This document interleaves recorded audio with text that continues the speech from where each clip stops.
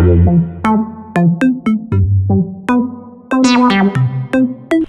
அஸ்லாம் வலைக்கும் hi everyone welcome to Nila tasty kitchen இன்றைக்கி நம்ம சேனலில் ஒரு ஆரோக்கியமான ரெசிபி தான் பார்க்க போகிறோம் ஆரோக்கியம் மட்டும் இல்லை ரொம்ப ருசியாகவும் ஆட்டுக்கால் சூப் தான் பார்க்க போகிறோம் கிட்ஸுக்கு இந்த மாதிரி மந்த்லி ஒன்ஸ் கொடுங்க.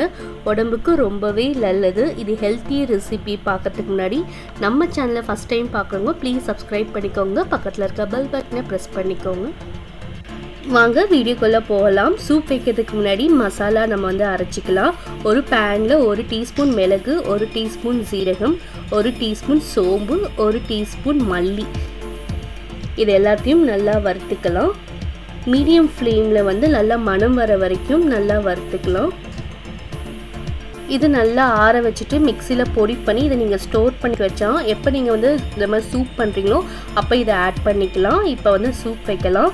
நான் குக்கரில் வந்து மூணு டீஸ்பூன் வந்து ஆயில் விட்டுக்கிறேன்.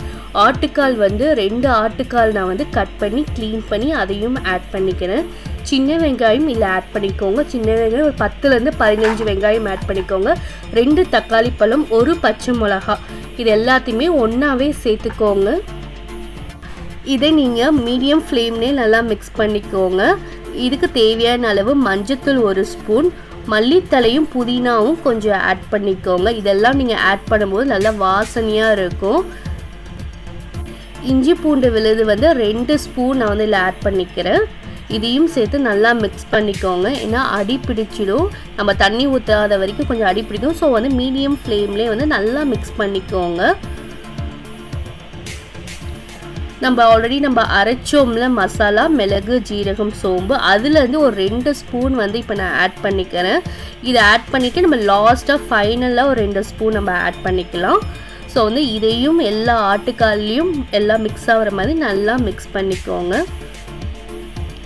இதுக்கு வந்து அரை ஸ்பூன் வந்து கரம் மசாலா தூள் ஆட் பண்ணிக்கோங்க. நல்லா வாசனைக்கு இந்த கரம் மசாலா தூளை ஸ்கிப் பண்ணாமல் ஆட் பண்ணிக்கோங்க.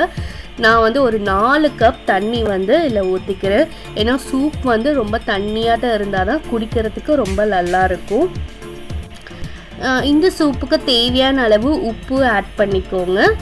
உங்களுக்கு எவ்வளோ வந்து தண்ணி வேணுமோ அந்த அளவுக்கு ஊற்றிக்கோங்க ஏன்னா சூப் வந்து தண்ணியாக தான் இருக்கணும். இதை வந்து குக்கர் மூடி போட்டு ஒரு அஞ்சு விசில் நான் விட்டுக்கிறேன்.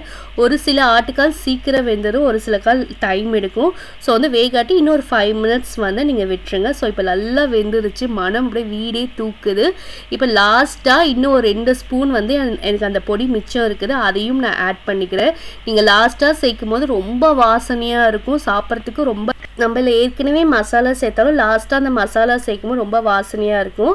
கடைசியாக மல்லித்தலை வந்து கொஞ்சம் ஆட் பண்ணிக்கோங்க.